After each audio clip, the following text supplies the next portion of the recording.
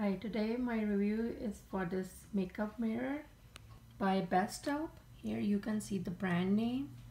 First of all, it came in a really nice packaging with a box and bubble wraps for base and, and the mirror and also this fake packaging.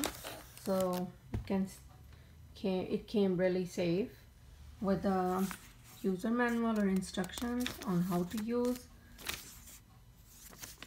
here is the mirror and let me show you before using it it.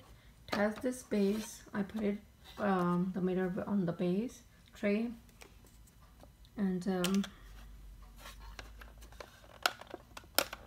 you can use a, the power cable or the four AAA batteries which are not included.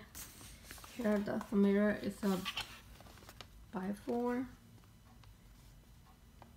will try to open with one hand as I'm holding the camera in the in the other one here.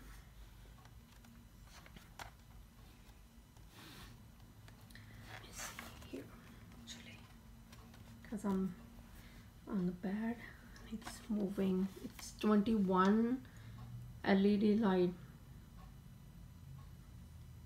mirror and that's the power button.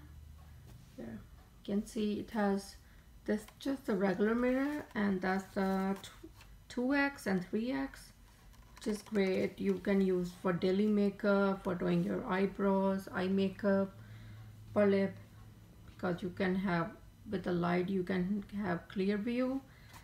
This mirror can move 180 degree here which is great. Here and the cable goes on the on the bottom. This way. Right now I'm using the power cable but if you want you can use it the batteries too. Here it's very well made and beautiful and really easy to use and set up and great for daily use. Thank you so much for watching